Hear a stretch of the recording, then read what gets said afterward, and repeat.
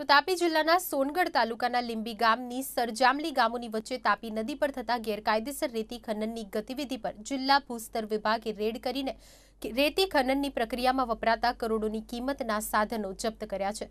ભૂસ્તર વિભાગને બાતમી મળતા ભૂસ્તર અધિકારી સહિતની ટીમે દરોડા પાડી એક હિટાચી મશીન, બે બોટ અને આઠ જેટલી ટ્રકોની સાથે રેતી મળીને જગ્યા પરથી આશરે એક કરોડનો મુદ્દામાલ જપ્ત કર્યો હતો. આરોપીઓ વિરુદ્ધ ભૂસ્તર વિભાગ દ્વારા કાર્યવાહી આદરીને વધુ તપાસ હાથ ધરવામાં આવી છે.